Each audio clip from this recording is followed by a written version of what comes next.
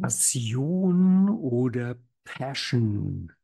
Geht es jetzt um den Weg des Leidens von Jesu Christi in den Tod oder geht es um den Weg der Leidenschaft von Tony Robbins zum Erfolg? Du wirst staunen, dass der Unterschied gar nicht so groß ist. Viel Spaß bei diesem Podcast. Dies ist der Podcast über Modeling und NLP von Ralf Stumpf aus Berlin. Hier gibt's schöne Gedanken, mentale Werkzeuge für ein gutes Leben. Jeden Dienstag, heute ist die Folge Nummer 131 von Dienstag, dem 22. Oktober 2024. Dienstags kommt der Podcast, donnerstags ist ein Webinar und am Samstag gibt es was zum Lesen, den NLP-Essay, wo es auch nochmal richtig in die Tiefe geht. Den bekommst du unter www.ralfstumpf.de slash newsletter. Heute geht es um Passion, Passion, Leidenschaft. Lass dich überraschen. Als du den Titel dieses Podcasts gelesen hast, was hast du gelesen? Hast du es Deutsch oder Englisch gelesen? Passion oder Passion? Es schreibt sich ja gleich, das Wort. Und es könnte drei, im Grunde sogar vier verschiedene Bedeutungen haben. Also wenn wir mal bei dem wahrscheinlich aktuellsten anfangen, ist es die Passion. Wenn du jemals irgendwas von Tony Robbins und anderen von diesen Erfolgs- und Motivationstrainern gehört hast, dann weißt du, dass sie genau das predigen, dieses Lebe mit Leidenschaft, live with, with passion. Und darum kann ich mir vorstellen, dass das schon ein Wort ist, wo du zuerst dran gedacht hast. Wenn du ein bisschen altmodischer im Sprachschatz bist, dann kennst du das Wort Passion auch noch, dass du vielleicht sagst, dass du passioniert irgendein Hobby verfolgst, eine passionierte Bäckerin bist oder ein passionierter Angler oder sowas in der Richtung. Oder du sagst sowas wie, frühbarocke Flötenmusik ist meine Passion. Das ist im Grunde dann genau wirklich das entsprechende deutsche Wort für Leidenschaft. Und beide, sowohl die Passion im Sinne eines Hobbys als auch die Passion, kommen natürlich ursprünglich aus der Passion Christi, dem Leidensweg. Ich habe mir das Wort auch ein bisschen angeguckt. Du weißt ja, ich folge gerne, wenn ich mich so einem Thema nähere, der Wortherkunft. Und zwar einfach deswegen, weil ich als NLPler, also als jemand, der sich mit neurolinguistischem Programmieren beschäftigt, bin ich der Meinung, weiß ich, dass hinter jedem Wort irgendwann in dessen Geschichte ein Vakok steht, also ein sinnespezifisches Erleben, ein Sehen, Hören, Fühlen, Riechen, Schmecken. Und das heißt, am Anfang steht das Erleben und die Leute erleben und dann machen sie sich das Erleben irgendwann bewusst. Und wenn sich ein bestimmtes Erleben wiederholt, dann lohnt sich irgendwann dem Ganzen einen Begriff zu geben und so entstehen die Worte. Das heißt, es gibt keine abstrakten Begriffe. Wer immer dir auch erzählen möchte, dass es abstrakte Begriffe gibt, der lügt.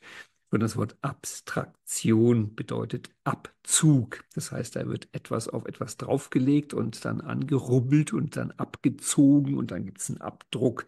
Das ist die Abstraktion. Und darum folge ich gerne den Worten, wo die herkommen. Und bei dem Wort Passion, das kommt wohl aus dem Kirchenlatein, und das meint vom ersten Moment an den Leidensweg, die Leidensgeschichte Jesu Christi. Da kommt das Wort her. Ich bin leider nicht weiter zurückgekommen. Es gibt natürlich viele andere lateinische Worte, die mit Pass anfangen. Aber da fand ich keine Zusammenhänge. Pathos, pathetisch, pathologisch, das ist wohl eine Wortfamilie, die eben auch mit Leiden zu tun hat. Und da kann man sich natürlich wundern, also ich meine, dass bei dem Kreuzweg Jesu Christi man von einem Leidensweg redet, ja, das versteht man jederzeit, aber was will Tony Robbins mit dem Leid? Also warum wünscht er den Leuten ein Leben voller Leidenschaft? Weil dieses Leben mit Passion, live with passion, bedeutet ja dann eigentlich lebe mit Leidenschaft. Und vielleicht kennst du auch diesen halblustigen volkstümlichen Spruch, Eifersucht ist eine Leidenschaft, die mit Eifer sucht, was Leiden schafft. Und das ist natürlich nett, das so zu formulieren, ist aber falsch wortgeschichtlich. Und darum ist es auch mal spannend, sich das Wort anzugucken, Leidenschaft. Was soll dieses Schaft oder dieser Schaft am Ende? Und das Lustige ist, es kommt wirklich vom Schaffen. Also dieses, was Leiden schafft, ist gar nicht so verkehrt. Es ist nur leider Gottes genau in die falsche Richtung, weil die richtige Richtung ist, das ist nichts, was Leiden schafft, sondern es ist etwas, was das Leiden erschafft. Also es ist nicht so, dass es zum Leid führt, sondern dass es aus dem Leid kommt.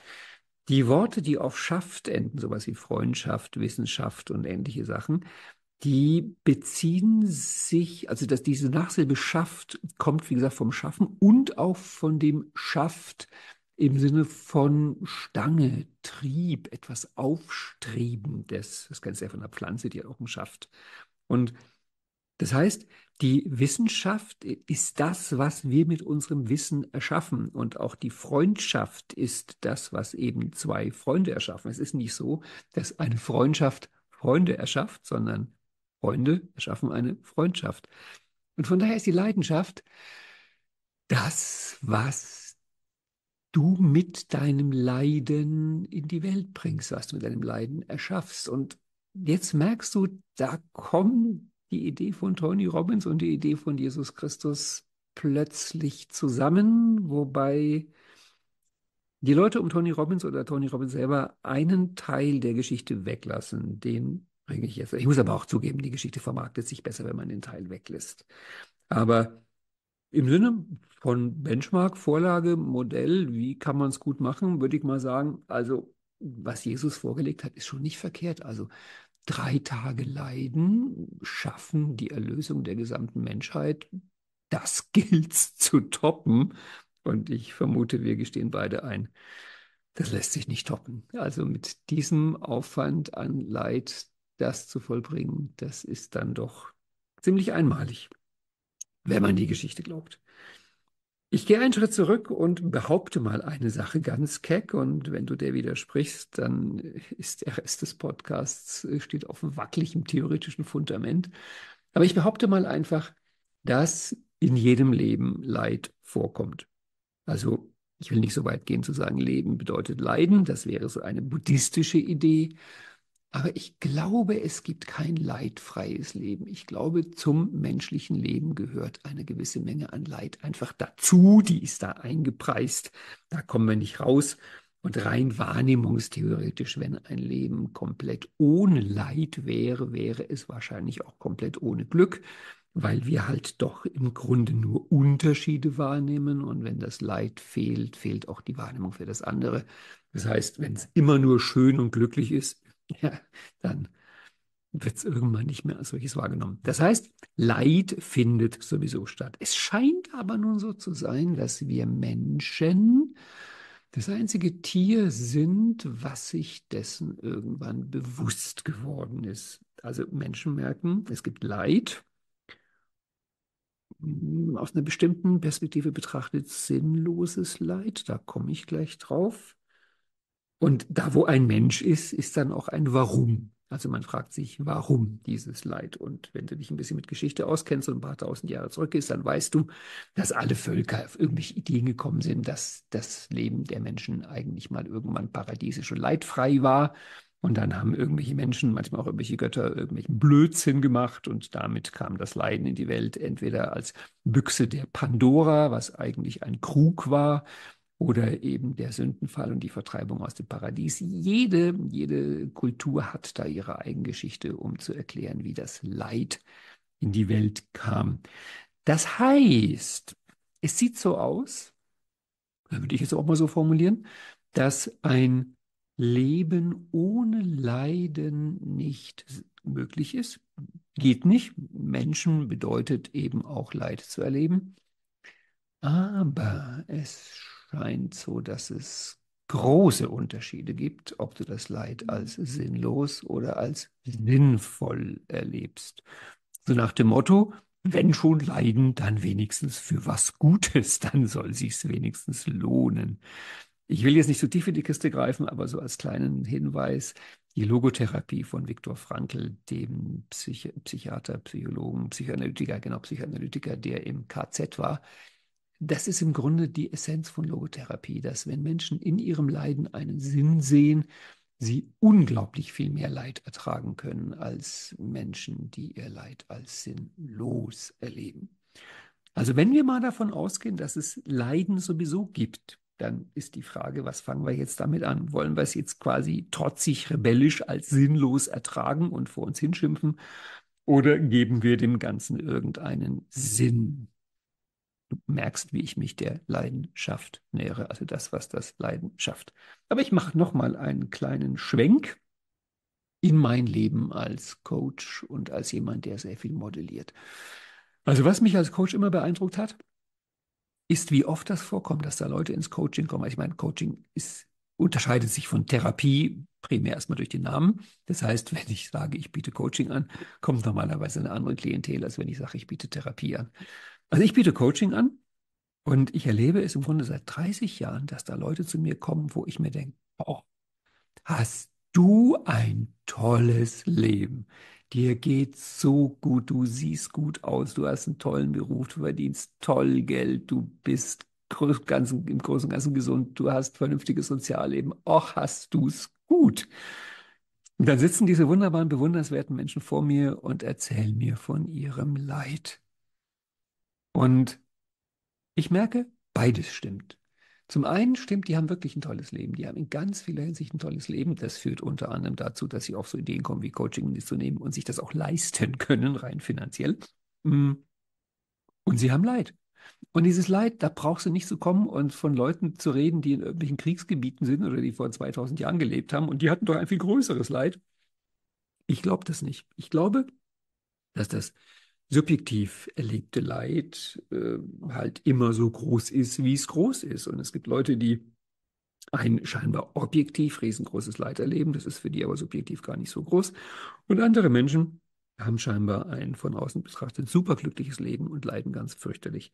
Das heißt, Leiden gehört mit dazu, auch bei den glücklichsten Leben. Und Jetzt modelliere ich ja auch viel und treffe da immer wieder Menschen oder beobachte Menschen, beschäftige mich mit Menschen, die in dieser oder jener Hinsicht wirklich Beneidenswertes haben oder sind oder können oder erreicht haben oder wie auch immer.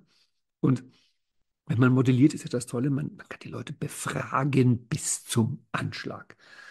Und bei jedem, wirklich absolut jedem dieser Modelings ist mir im Laufe des Gesprächs oder im Laufe der Beschäftigung klar geworden, hui, die haben ganz schön einen Preis dafür gezahlt, für das, was sie da erreicht haben. Also, nochmal ein ganz simples Beispiel. Irgendein, irgendein Menschen, der die oder das grandios Klavier spielt, also da sitzt am Flügel und die Fingerchen flitzen und die Töne perlen und es ist musikalisch und berührend und bewegend und du, du heulst Rotz und Wasser, weil du so bewegt bist davon und du denkst dir, oh, so möchte ich auch spielen können. Dann wäre meine Frage, ähm, hast du gerade darum gebeten, dass du vermutlich ab dem Alter von vier Jahren jeden Tag mehrere Stunden am Klavier sitzt? Es gibt ein Buch über Karl Czerny. Das ist der, der die gemeinsten und häufigsten Etüden geschrieben hat, also Klavierübungen. Und das Buch trägt den Titel Karl Czerny oder die Einzelhaft am Klavier. Also weißt du, wenn andere Kinder irgendwie draußen durch die Sonne tollen, sitzt du dann zu Hause am Klavier und übst Tonleitern. Ich will damit sagen, der Weg zum Spitzenpianist, Spitzengeiger, Spitzensportler, Spitzenschachspieler oder was auch immer ist ein Weg, der einen hohen Preis fordert. Um nicht zu sagen Leid. Ich habe mal in der WG, ich war nicht oft in der WG, aber zweimal war ich in der WG. Und einmal hatte ich eine WG mit äh, jemandem, mit einem anderen Mann zusammen und der war Koch in der Spitzengastronomie. Also der konnte wirklich, also der konnte kochen. Und ich war erstaunt, wie dieser Vollprofi im Kochen sich doch regelmäßig in die Finger schnitt oder sich die Pfoten verbrannte. Man sich denkt, das musste doch mal irgendwann eigentlich verstanden haben. Aber nein, in der Hitze des Gefechts, da kann man es wirklich sagen. Also in der Hektik der Küche. Man greift halt mal daneben, man ist halt mal ganz kurz unbedacht und die Messer sind scharf und die Töpfe sind heiß und ouch. Das heißt, das tut weh. Oder wenn du dir noch ein anderes Bild vorstellst, denk an irgendwelche, falls du es mal gesehen hast, Füße von Balletttänzern oder Balletttänzerinnen. Also die Bilder von diesen Füßen, wenn du ein Herz in der Brust hast, wird dir der Anblick des Bildes bereits wehtun. Ich glaube, du weißt, worauf ich hinaus will. All diese bewundernswerten Sachen sind erkauft mit einem Preis, den die Menschen bezahlt haben, und dieser Preis heißt Leid. Das heißt, wenn du etwas deine Leidenschaft nennst, dann sagst du damit, dass du dafür bereit bist zu leiden. Und ich sage dir dieses eine, weil ich es wirklich in meinem Leben beobachtet habe, in ganz vielen Modelings.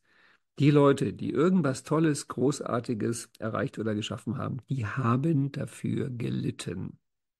Aber, jetzt kommt das Witzige, häufig nur von außen. Also, okay, also ich persönlich kenne jetzt keinen Pianisten, der sagt, wie ekstatisch, genial, geil das war, Stund um Stunde Tonleitern zu üben. Aber so richtig unangenehm, also so ganz fürchterlich unangenehm fanden sie es dann meistens doch nicht, weil darum haben sie es ja gemacht. Das heißt, die Leidenschaft ist das, wo du dir denkst, da stimmt das Verhältnis. Also wo du dir denkst, um dieses Ziel zu erreichen, muss ich ein gewisses Maß an Leid auf mich nehmen, aber es lohnt sich, weil das, was ich dafür bekomme, ist tausendmal mehr wert. Und die Stelle im Leben, wo deine Rechnung so aussieht, das ist deine Leidenschaft, weil in dem Bereich sagst du, da ist es wert, dass ich mit meinem Leiden etwas schaffe, dass ich dafür leide, nicht deswegen oder nicht äh, aufgrund dessen, sondern wofür. Und also guck dir irgendwelche Bergsteiger, ich habe mal irgendeinen Bericht über Reinhold Messmer, Mess, Messmer, Messer, ich war Messner, gesehen im Fernsehen. Da hatten sie erwähnt, wie viel Zehen der noch hat oder nicht mehr hat. Also ich würde mal sagen ungefähr 50-50. Naja, man verliert halt das eine oder andere am Berg. Und er hat das erzählt und hat dabei gelacht. Er hat gestrahlt. Das ist ein fröhlicher älterer Herr, dem, glaube ich, sein Leben wirklich Spaß gemacht hat und der es begeistert hat. Und hat es ihm halt ein paar Zehen gekostet. Ja, mein Gott. Ich glaube, wenn du Pianist wärst und beim Klavierüben zehn verlieren würdest, würdest du dir das vielleicht noch überlegen und sagen, nein, das bin ich nicht bereit dafür zu bezahlen. Und das ist die Frage. Wofür bist du bereit, es zu bezahlen? Und wenn Tony Robbins und andere Leute einem ein Leben mit Leidenschaft wünschen, live with passion, dann ist das eigentlich die Frage, was in deinem Leben ist dir so wichtig, dass du dafür bereit bist, den Leidensweg zu gehen. Und damit sind wir wirklich original bei der Passion Jesu Christi, weil auch bei ihm war ja die Frage, wofür das Ganze? Und da sagt es halt die christliche Überlieferung, dass er die Menschen, die Menschheit so geliebt hat, dass er dafür bereit war, diesen Leidensweg zu gehen. Wie gesagt, drei Tage Leid, äh, einmal die Menschheit erlösen. Den Deal würden vermutlich einige andere auch eingehen. Weil wenn du Klavier spielst, dann geht es nicht um drei Tage Leid, dann geht es um 30 Jahre Leid. Wobei man dazu sagen muss, es ist dann wahrscheinlich im Vergleich doch geringer als das, was Jesus damals erlebt hat. Trotzdem kommen wir genau zu diesem einen Punkt, wofür bist du bereit zu leiden? Oder um jetzt den Faden von vorhin wieder aufzunehmen, wenn ohnehin in jedem Leben ein gewisses Maß an Leid mit drin ist und du nicht drumherum kommst, weil es halt mit drin ist, dieses gewisse Maß an Leid. Dann ist es allemal besser, wenn das Leid nicht sinnlos ist, sondern für irgendetwas gut ist, wenn es einen Sinn hat. Das Wort Sinn kommt übrigens von dem Wort Weg. Das heißt, es führt irgendwo hin. Es hat, wie Immanuel Kant sagen würde, einen Zweck. Das ist sein Wort für Ziel und ich finde das auch ein sehr schönes Wort. Also wofür ist das Ganze gut? Warum kannst du dich auch fragen, was soll das? Was bringt mir das? Wofür leiden?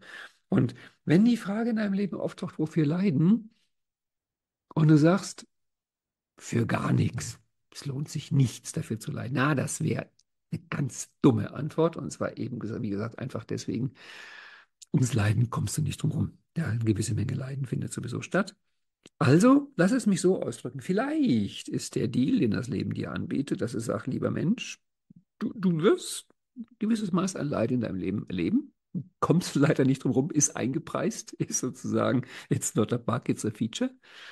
Aber du kannst dir in Maßen raussuchen, wo und wie du leidest und du kannst dir fast komplett frei raussuchen, wofür du leidest. Also an welcher Stelle du dich anstrengst, an welcher Stelle du dir blutige Ballettfüße holst oder Ich war ja mal Kirchenmusiker. Ich habe mir in einem, in einem, vor einem Weihnachtsfest, als ich in der bitterkalten Kirche das Weihnachtsstück geübt habe, mal tatsächlich die Fingerkuppen angefroren. Das heißt, die waren dann ungefähr eine Woche lang rötlich und gefühllos, bis die Nerven wieder nachgewachsen sind. Ich erzähle die Geschichte, ich lache drüber. Ich, mir ist mal aufgefallen, die meisten Leute, denen ich es erzähle, dass ich mir im Winter an der Kirchenorgel die Fingerkuppen angefroren habe, die, die finden das jetzt nicht so lustig wie ich. Ja, ich lache drüber. Ich meine, mein Gott, das bringt der Beruf so mit sich. Und wenn dann andere hören, was ich Tag ein, Tag aus verbringe, damit ich Texte schreibe und Texte lese und Podcasts höre und Podcasts bespreche und Hörbücher höre und mich mit NLP-Konzepten beschäftige und Seminare gebe, ich meine, eine der größten Ängste von vielen Menschen ist es, vor, vor Leuten zu sprechen, vor Gruppen zu sprechen und so weiter in der Richtung. Wie oft kommen so nach einem Blog-Seminar, ich hatte jetzt neulich wieder ein Blog-Seminar, das war Master, fünf Tage Training und du weißt, als Trainer hat man eigentlich nie seine Ruhe. In der Pause kommen Leute, über die ich mich freue, weil es sind schöne Gespräche. Und auch in Kleingruppen kommen Leute. Das heißt, es ist wirklich dann von 10 Uhr bis zum Teil 20 Uhr. Fünf Tage lang einfach Betrieb. Und manchmal kommen Leute und fragen hinterher, warum, warum ist es nur noch gut? Wie hältst du das aus? Und manchmal gucke ich dann und sage, ja, also manchmal glaube ich sogar, es gibt mir mehr Kraft, als es mich kostet. Wobei ich ehrlich zugeben muss, wenn ich an den Abend in meine Wohnung zurückkomme, der sieht man es dann ein bisschen an, dass in diesen Tagen meine, meine Kraft und meine Energie woanders hinfließt. Trotzdem, es lohnt sich. Das ist die Stelle, wo ich sage, es lohnt sich. Dafür bin ich bereit, dieses Maß an Leid, welches mir gering erscheint, das ist ja das Wichtige, welches mir gering erscheint, dafür bin ich bereit, das aufzunehmen, auf mich zu nehmen. Und Deswegen vielleicht zum Schluss noch mal eine, eine weitere kleine Nebenbedeutung des Wortes, Wortes Leiden. Das gibt es ja nun auch mit einem kleinen L geschrieben. Also nach dem Motto, ich kann dich gut leiden oder ich kann den nicht leiden.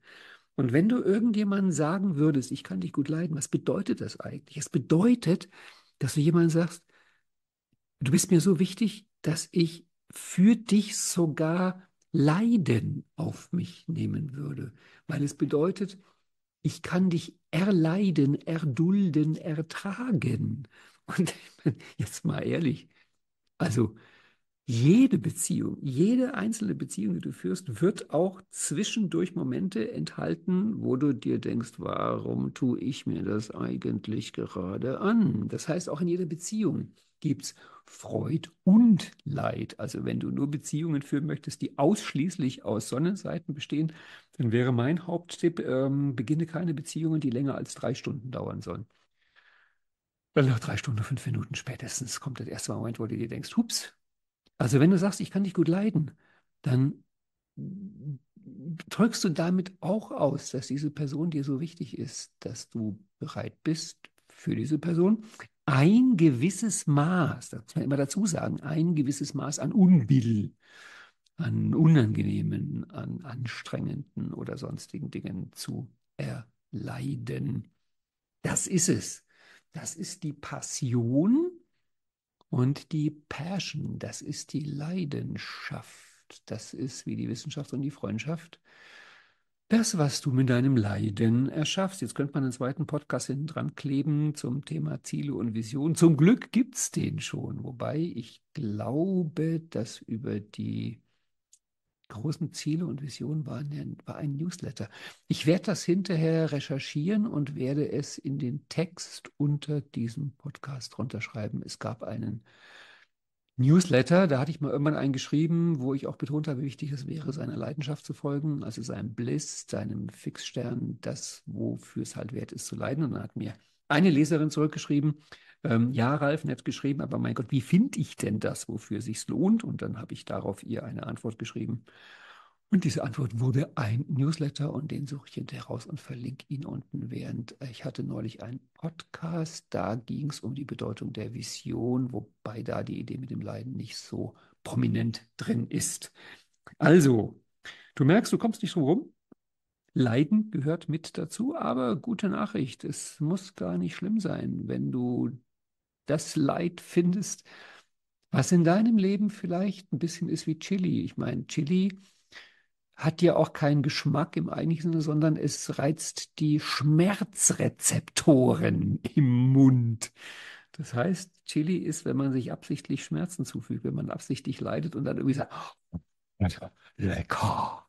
Und genauso ist es vielleicht, wenn du am Klavier Tonleitern spielst oder dir die Füße blutig tanzt. Ich weiß nicht, was deine Leidenschaft ist, aber vielleicht wäre jetzt einfach mal ein Augenblick, das rauszufinden, wofür du bereit bist, dieses Leid auf dich zu nehmen. Ich erwähne nochmal am Ende das, wofür ich ein Leid auf mich nehme, was für mich ein geringes ist und wo ich weiß, ich kann mir und anderen Leuten damit eine Freude machen, ist halt der Newsletter und der Podcast und das Webinar. Und darum sage ich es mal ganz offen, die Währung, die bei, für solche Sachen im Internet üblich ist, wenn man sich dafür bedanken möchte und sagen möchte, lieber Ralf, ich freue mich so, dass du diesen Podcast und den Newsletter und die Webinare jede Woche einfach so in die Welt schickst. Das ist Klicks und Likes und Abos denn ich bekomme inzwischen ziemlich viel sehr schönes und aufbauendes Feedback zu den Podcasts oder den Newslettern. Bitte entschuldige, wenn ich nicht immer gleich oder manchmal auch gar nicht antworte. Ich lese das alles mit voller Aufmerksamkeit, aber mir fehlt zum Teil die Zeit, es zu beantworten. Das schönste Dankeschön, wenn ich mal ganz ehrlich sein darf, ist es allerdings, wenn du irgendetwas likest oder abonnierst oder weiterempfiehlst. Denn die Anzahl der Follower, das ist die Währung im Internet. Und ich freue mich natürlich über jeden Einzelnen, der das Ganze hört und liest und sich freut. Aber ich würde mich ehrlich gesagt tausendmal mehr freuen, wenn es tausendmal mehr Leute sind. Und von daher die große Bitte von mir an dich, überleg dir einen Menschen jetzt, wo du denkst, ui, den kann ich gut leiden.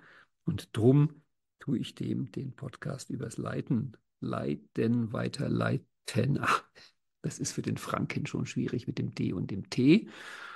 Und wenn du Lust hast, dann würde ich mich freuen, wenn du hier irgendwo auf Kommentieren, Abonnieren, Besternen und ähnliches klickst und drückst. Das war's für diese Woche. Nächste Woche kommt dann am 29. Oktober ein Podcast über Wut über Wut. Oh, ein bisschen anders als Passion, aber sei gespannt, was kommt, wenn dann nächste Woche der wütende Podcast kommt. Das war der von dieser Woche zur Leidenschaft, zur Passion, zur Passion. Alles Gute. Bis nächste Woche. Tschüss.